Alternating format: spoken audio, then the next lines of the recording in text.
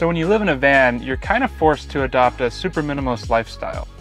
but you still need at least a few things to keep with you to make your life easier and more organized. This is my GoRuck GR2 and I use this bag as a way to store my computer and any other digital accessories that I need when I upload my videos. The size of this bag is 40 liters and it's big enough to store all of my digital components with plenty of room for cables, hard drives, and even headphones. I've traveled everywhere over the past five years with this bag and it's made out of a very nice Cordura nylon fabric that's very thick I'll be doing a long form in-depth review of this bag, so definitely watch out for that soon.